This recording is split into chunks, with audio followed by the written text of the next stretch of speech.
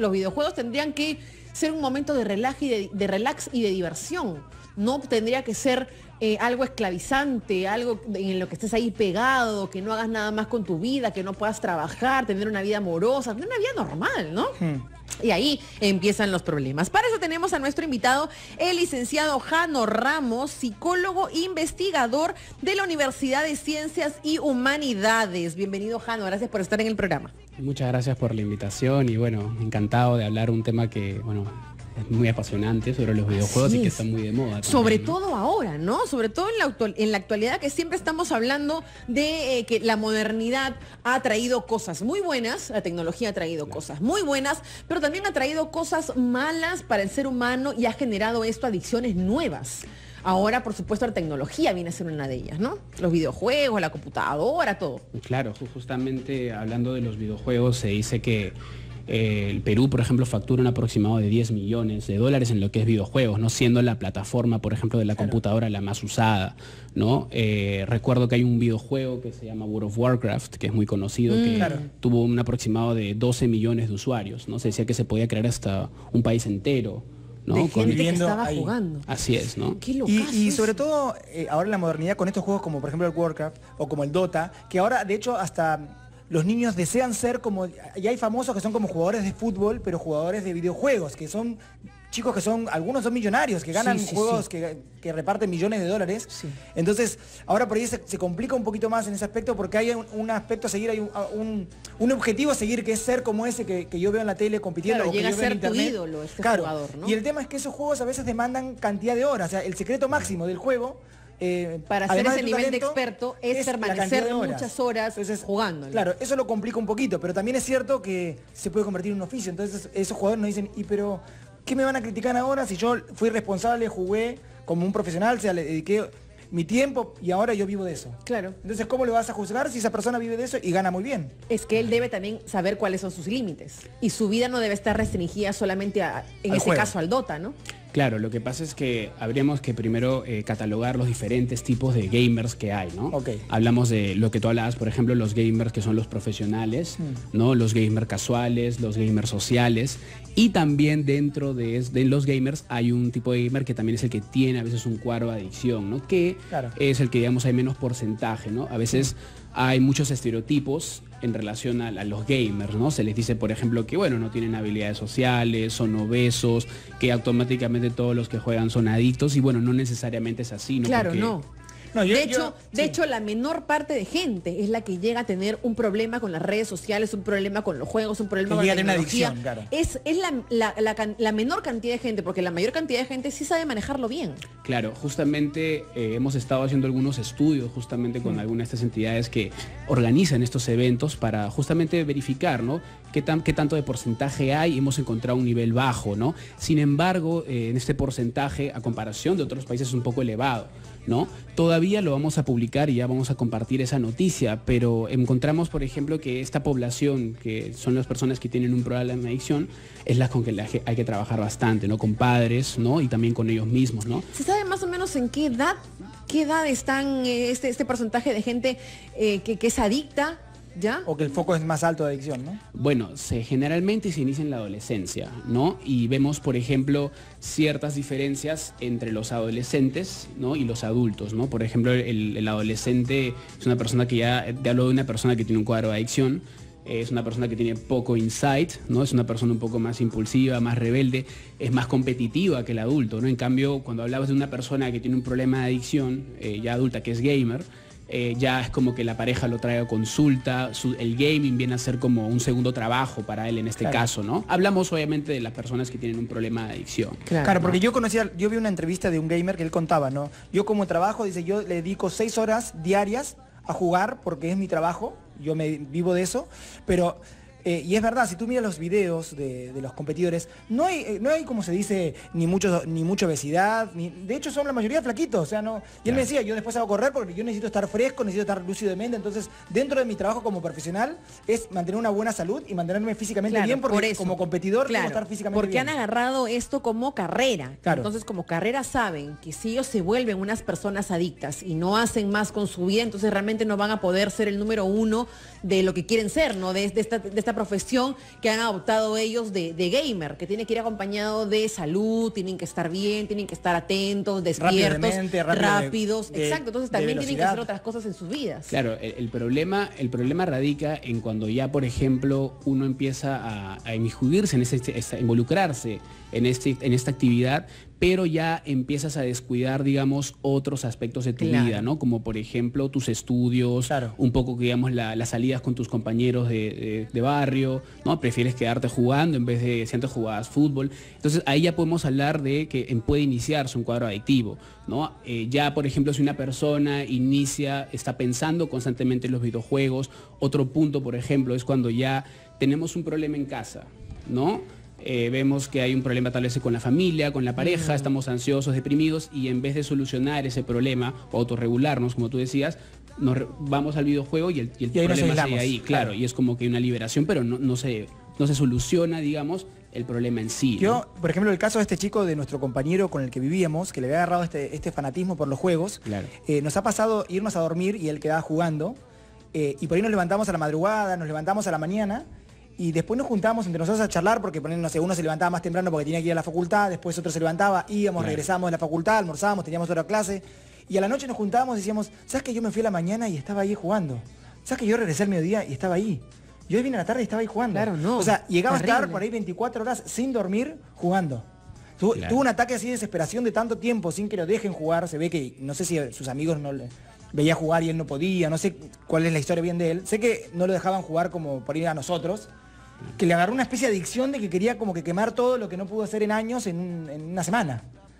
Entonces, también eso es peligroso, ¿no? Cuando uno le generas ansiedad a alguien, cuando sos un adolescente y todos tus amigos juegan, todos tus amigos tienen una vida relacionada a los jueguitos y, y- y tú no la puedes hacer, cuando tienes la posibilidad de hacerlo, es como el atracón de la comida, ¿no? Claro, es como liberar, es como tener a alguien encerrado y de pronto se encuentra libre y dice, este es mi momento, ¿no? Este es mi momento ya para, para hacer lo que justamente no me dejaron hacer, ¿no? Y también quiero, quiero volver eh, después del corte para conversarlo con Jano y me diga cuáles son las reglas que debe poner la familia en casa.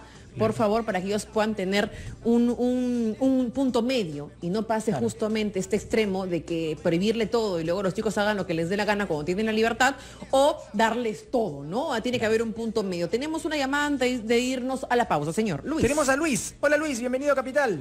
Hola, ¿cómo están? ¿Cómo estás? Hola muchachos. Este, eh, bueno, también comentarles que yo también he sido gamer, soy gamer. O sea, tengo 34 años. Sí. Me gustan mucho los videojuegos, pero tengo un hijo de 3 años. Sí. Y también juega, juega Mario Bros y estas cosas. Pero a veces uno dice, ¿no? ¿Hasta qué punto uno puede volverse ludópata? O sea, o este es parte de la, esa es mi pregunta, ¿no? ¿Esto puede ser parte de una ludopatía? O también el Facebook, como las personas lo usan, también es una- un tipo de ludopatía. Esa era mi pregunta para, para el psicólogo, ¿no? ¿Y, y en tu caso cómo fue? En tu caso, tú cuando eras gamer, ¿tú sentías que has perdido cosas, has dejado de hacer cosas por jugar? ¿O simplemente no, jugaste? lo que pasa es que pasas una etapa, pues la primera etapa es la etapa del vicio, como se podría decir, Mm. del vicio común, de que estás toda la noche jugando, pero eso, eso es un tiempo, puede ser este, unos meses y de pronto ya te tomas tus tiempos porque tienes cosas que hacer, tienes cosas que tú tienes que hacer, tienes que ir al colegio, tienes que hacer tus cosas y de pronto ya solamente te compras videojuegos porque es parte, es un accesorio más, como Claro. los celulares, como, ¿no? Entonces, Claro, eso, es bueno, claro, eso es bueno y, es- y lo hace la mayor parte de gente. El problema es que hay personas que saben que tienen que hacer más cosas y sin embargo no las hacen. Ya se quedan totalmente involucrados en el tema del juego y no hay quien los saque de ahí. ¿Hasta qué punto, hasta qué punto una persona le Claro. dice a otra persona, oye, apaga el videojuego que está haciendo? Volteas y la mamá está con el celular más horas que el niño con, Claro. con el, el- el gamer prendido. Entonces, ¿quién es más ludópata, la mamá o el niño?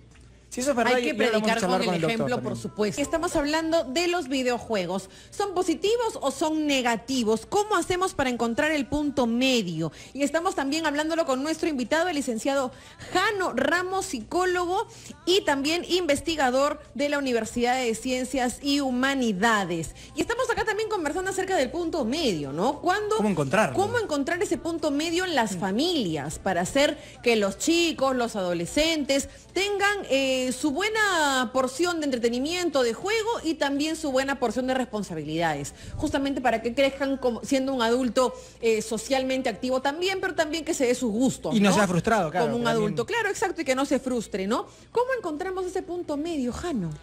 Bueno, en primer lugar hay, hay que tener en cuenta que hay diferentes tipos de videojuegos, Hmm. ¿no? Que en los que son los padres, por ejemplo, le pueden permitir a los niños, digamos, inclusive compartir.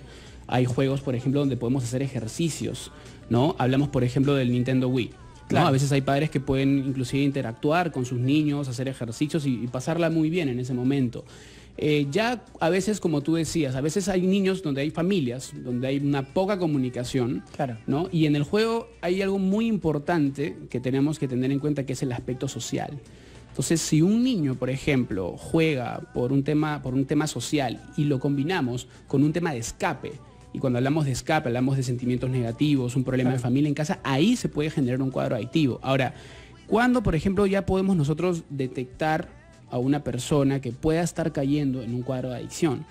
Por ejemplo, eh, vemos que esta persona para constantemente pensando en los videojuegos, va planificando ¿no? la próxima partida, eh, miente, por ejemplo, cuántas horas él está jugando, arriesga oportunidades, por ejemplo, laborales, educativas, estudios, claro. por, por temas de videojuego, ¿no? Deja el celular en casa y entra en colapso porque tiene que ir a sacarlo de la casa como sea, no puede hacer otras cosas. Inclu- claro, eh, inclusive también son personas que a veces ellos a veces se pueden proponer metas para jugar un determinado número de horas, pero no lo logran. Claro. ¿no? Entonces, esto es este conjunto de síntomas, ¿no? La- el tema de querer jugar y sentir la misma sensación de placer al inicio ocurre, porque hablamos de, eh, de una de las adicciones comportamentales. Claro, ¿no? porque también hablábamos ahora de que, claro, cuando te dan un juego nuevo es la emoción, ¿no? Claro. Es Y que puede, nuevo, claro, lo en los quiero primeros días puede jugar. ser que uno esté ¿Cuánto pegado. dura esa emoción de algo nuevo Como decía de Luis. manera normal?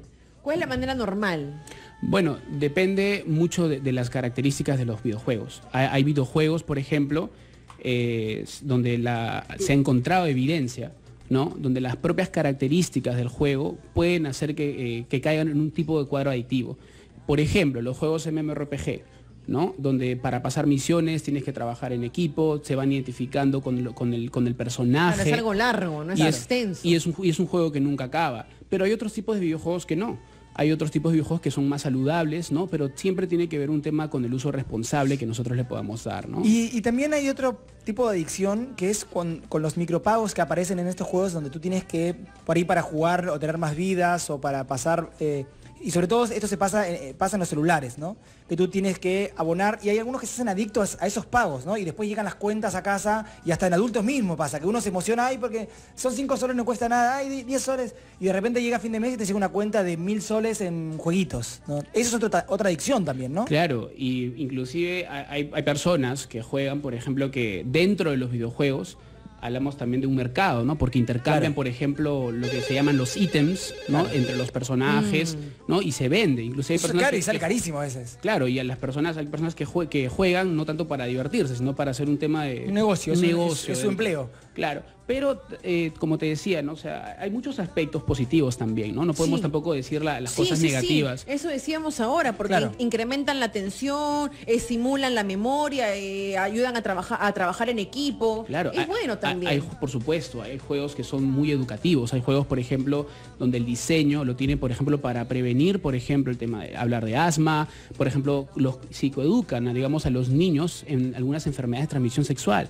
Por ejemplo, dieta. Hay un, recuerdo un juego en el cual el personaje consumía cierto tipo de alimento y cambiaba su apariencia. ¿no? O sea, todo depende Sí, que también tienen de... una lección atrás, Por su- ¿no? El videojuego. Entonces lo que tienen que hacer los padres es supervisar qué están jugando sus hijos y ponerles de repente también un horario que ahora lo vamos a conversar con Jano. Tenemos llamadita, estamos con Eric en línea. Eric, bienvenido a Capital. Hola, ¿qué tal, Adrián? ¿Qué tal? ¿Cómo estás. Eric? Hola a todos los, los panelistas también invitados. Hola, ¿Qué tal? Eri. ¿Qué tal? Eh, bueno, sí, eh, estaba escuchando el programa y, bueno, tienen razón en algunos temas. Hay diferentes juegos, de los que pueden ser adictivos, los que pueden ser constructivos. Y, me- bueno, les comentaba también, no sé si lo habían mencionado, mencionaron Nintendo. Este Nintendo sacó la, nueva consola, que es el Switch. Y a esta consola le incorporó una aplicación que es el control paternal, que le permite al papá ver este, los juegos que partió del niño, ponerle un límite de horas, evitar la Ah, comunicación por línea, todo eso, y también le permite al padre, en cierto modo, tema- una conversación con el, con el hijo, porque el niño juega, le comenta que juega Mario Kart no sé tal cosa, Claro. y el papá, bueno, ahí aprovecha esa oportunidad también, por decirte un ejemplo. Eh, pero sí, o sea, también los juegos han tenido, tienen sus pros y sus contras, mi mejor, te puedo decir que, bueno, conocí a muchos de mis mejores amigos por los jugando Play, jugando Play más que todo. Y se han vacilado y tienen Claro. lindas experiencias también. Eso es porque lo han sabido también controlar en casa los padres. Entonces esto llega a ser algo bonito, una experiencia chévere para contar ya cuando uno es adulto, hace bonitos grupos de amistad. Eso es chévere. El problema está cuando no sabemos en casa cómo controlarlo y los chicos se desbordan y ya no tienen ningún tipo de control, ¿no? Gracias. Claro, hay que tener un tipo de control también. Sí, de Bueno, todas claro, maneras. Vamos a ahí, preguntarle a. Jano para que nos diga también el tema de los horarios. ¿Cuánto es lo adecuado que deben jugar los niños en casa? Vamos a recibir la llamada de Iván también, que está en este momento en línea. Iván, bienvenido a Capital. Hola, ¿cómo estás? ¿Qué tal? ¿Cómo estás, Iván? Bienvenido. Mira, para comenzar quería comentarte, mira, yo llevo 25 años ya trabajando en temas de tecnología, o sea, creo que algo puedo saber. Y yo creo que te puedo decir algo, ya tengo hijas, tengo una hija de 17, tengo una hija de 12, Ujú. y yo no creo que haya un juego que tú digas, este juego es positivo, o sea, un, los, los, los juegos, y eso ya se ha demostrado, de algún tipo siempre generan este los mismos elementos químicos que generan las adicciones.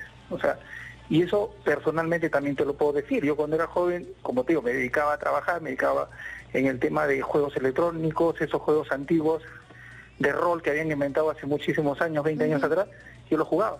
Hasta que un día me di cuenta pues que me pasaba noches enteras prendido en ese tema. O sea, yo no te digo, la, la verdad no hay juego positivo. Eso de que hay un juego positivo, este te enseña cosas, eso es mentira. Los chicos hay que ponerles simplemente horas exactas de jugar y si ustedes deciden nunca comprarle ningún Nintendo, ningún PSP, nadie se va a traumar, no le va a pasar nada. Gracias, No, Iván, por tu comunicación. Gracias. Eh, mm, Eric decía, ¿no? El tiempo que se le tiene que dar a los hijos. Y también Iván, ahora en comunicación, dice que no hay ningún juego positivo. Bueno, Que lo que acá tienen que hacer es los padres poner las reglas y listo.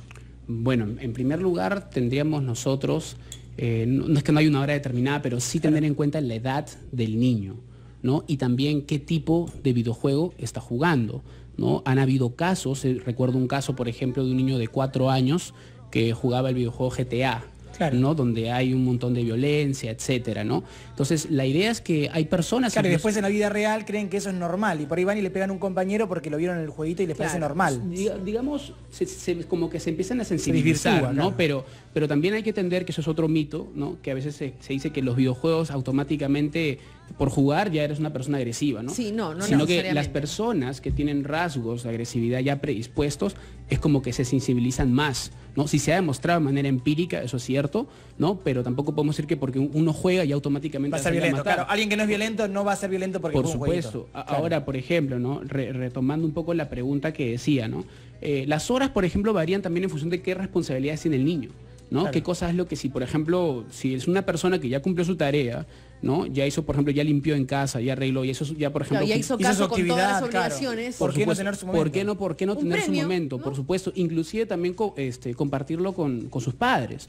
¿no? A veces los padres es como que no lo ven ahí jugando, pero también ellos pueden inmiscuirse un poco y saber qué están jugando. Ahora, no todos los videojuegos son malos, porque hay evidencia científica que, por ejemplo, hay juegos que estimulan la creatividad, la capacidad de resolución de problemas. ¿No? Hay juegos, por ejemplo, que son terapéuticos Sí, inclusive. hay muchos juegos que hay que resolver cosas, hay que pensar un montón para resolverlo y, está bueno eso, porque desarrollas ese Claro, intelecto. estimulas el, el cerebro claro, de los niños. Por ¿no? ejemplo, los juegos, el, como el conocido Counter-Strike, ¿no? Se ha detectado que los juegos, es un tipo de juego de disparo. Entonces, estos juegos de disparos estimulan lo que es la atención selectiva. Por darte un ejemplo, ¿no? Se ha demostrado también que mejora un poco tu capacidad de reacción.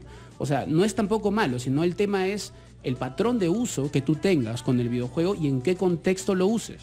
Porque a veces también hay personas, me han llegado casos, de recuerdo de un chico que le decía a su papá, no, pero hay juegos, yo tengo, este, los juegos son buenos, son educativos, ¿no? Pero no era un juego educativo, pues, era un juego de entretenimiento y ya las horas, digamos, se sobrepasaban, ¿no? Entonces, Claro. hay aspectos positivos y negativos definitivamente, ¿no? Entonces lo pueden usar los padres como un tema de compensación cuando ya han cumplido todas sus obligaciones. Hicieron la tarea, ayudaron en casa Claro. y se les puede dar, no sé, ¿cuánto sería lo adecuado? ¿Una hora? Dependiendo de la edad, por ejemplo, a los niños de, do- de 3 años, 4 años, no más, de, no más de una hora, por ejemplo, Claro. ¿no?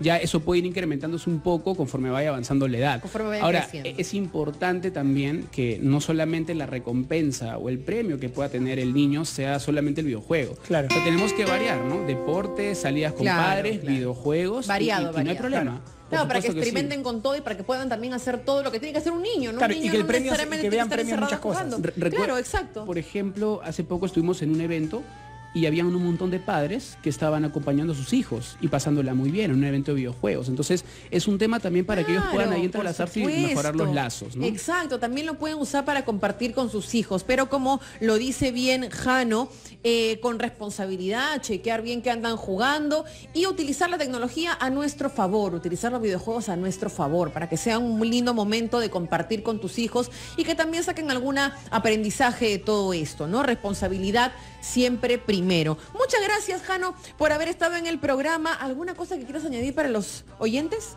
Bueno, este, si me permites eh, invitarlos a las personas que puedan Claro. ingresar a nuestra página web Claro, claro. www.uch.edu.p. Eh, ahí justamente estamos haciendo algunas investigaciones, ¿no? Con respecto a, esta- a este tema de videojuegos, el uso de las redes sociales, ¿no?